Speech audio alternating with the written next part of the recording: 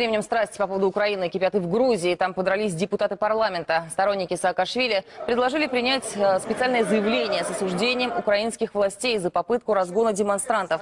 В ответ представители парламентского большинства напомнили им события 2007 и 2011 годов, когда действующая на тот момент в Грузии власть жестоко подавляла уличные акции.